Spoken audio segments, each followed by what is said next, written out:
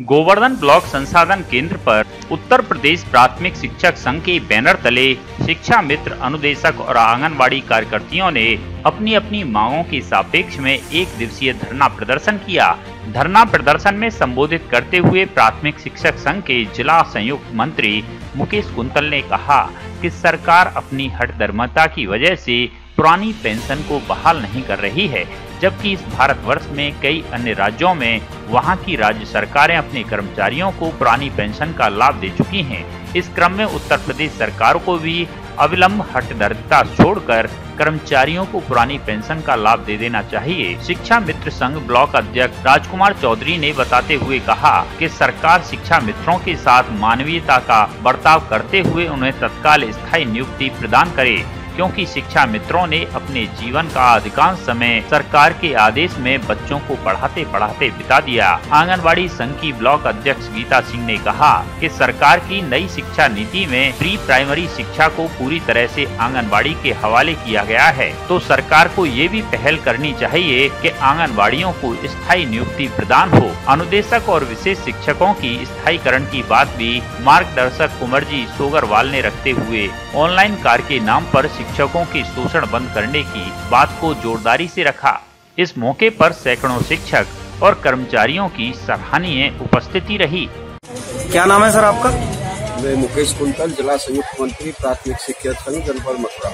अच्छा आज आप लोगों ने यहाँ पर ये जो धरना प्रदर्शन किया है क्या आपकी मांगे हैं सरकार से? हमने उत्तर प्रदेशीय प्राथमिक शिक्षक संघ के बैनर तले हमारे उत्तर प्रदेशीय प्राथमिक शिक्षा मित्र संघ, अनुदेशक संघ, आंगनबाड़ी संघ और तमाम संघों को कस्तूरबा शिक्षक संघ के साथ लेकर के कि किस उत्तरीय मांगों के एजेंडा के रूप में हमने ये धरना प्रदर्शन आयोजित किया है। सरकार की हटधर्मिता हमारी तमाम मांगों के लिए है। हमारे लिए एक नया मुसीबत पैदा कर दी है। कि उत्तर प्रदेश सेवा शिक्षा अधिग्रहण 2021 विधेयक पास कर दिया गया है। अब तक हमारे लिए व्यवस्था थी कि हम अपनी, यानी कोई समस्या विभाग से नहीं होती थी तो हम कोर्ट जाके करते, वो भी रोक दिया गया। उसका अध्यक्ष एक सेवानिवृत्त व्यक्ति को नियुक्त किया जाएगा, जो जब एक बार जो सरकार का नुमाइंदा हुआ तो वो बातें हमारी कहाँ सुनेगा तो हमारे शोषण के लिए पूरी व्यवस्था तैयार की जा रही है। इसके साथ साथ हमारे शिक्षा मित्र भाई हैं उनके मानदेय बढ़ोतरी के लिए, उनके स्थायीकरण के लिए लगातार हम संघर्ष हैं। हमारी आंगनबाड़ी बहनें हैं, उनका कम से कम मानदेय जितना वो कार्य करती उस हिसाब से पंद्रह हज़ार रूपए मिनिमम होना चाहिए। हमारे अनुदेशक भाई उनके स्थायीकरण के लिए।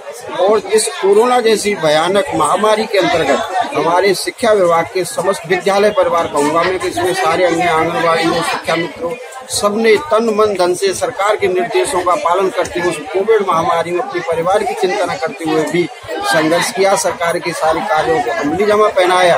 उसके बावजूद सरकार न तो हमारे मृतक आश्रितों को लिपिक वर्ग पे नौकरी देने के लिए तैयार है, न शिक्षक पद पे नौकरी देने के लिए तैयार है, वही चतुर्थ श्रेणी पद पे देने की तैयार है। हमारी मांग है कि हमारे जितने भी कोरोना महामारी के दौरान शिक्षक, आंगनबाड़ी शिक्षा मित्र भाई, अनुदेशक जो शहीद हुए हैं हम उसको उनको, उनकी शहीद को नमन करते हुए ये मांग करते हैं कि उनके पालने के लिए कम से कम एक करोड़ की आर्थिक सहायता और उनके लिए स्थायी पद की व्यवस्था की जाए ताकि उनका परिवार एक अच्छा जीवन यापन कर सके। तो आपका ये जो धरना प्रदर्शन चल रहा है वो किस स्तर पर आप लोगों ने आयोजित किया? प्रदेश लेवल पर या जिला लेवल? ये धरना प्रदर्शन उत्तर प्रदेश प्राथमिक शिक्षक संघ के प्रदेश आह्वान पर संपूर्ण उत्तर प्रदेश में आज आज चौदह सितंबर को आयोजित किया जा रहा है। प्रत्येक बीआरसी पर आयोजित किया जा रहा है। ब्लॉक मुख्यालय पर आयोजित किया जा रहा है। संपूर्ण उत्तर प्रदेश में है ये धरना। सरकार अगर आपकी मांगों को नहीं मानती है या किसी प्रकार का व्यवधान उत्पन्न होता है तो आपका अगला कदम क्या होगा? हमारा अगला कदम जैसे हमारे प्रदेश संगठन से जो निर्देश हमको जिला इकाई को प्राप्त होंगे उनका पूर्ण अनुपालन किया जाएगा और उसको करते हुए आगे की भूमिका बनाई जाएगी।